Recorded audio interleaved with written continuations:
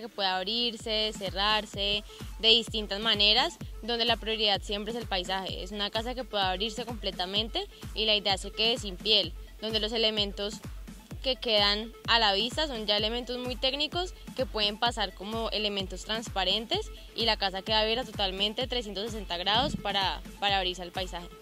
La casa está pensada de la mejor manera para que sea modular, pueda ser construida a gran escala.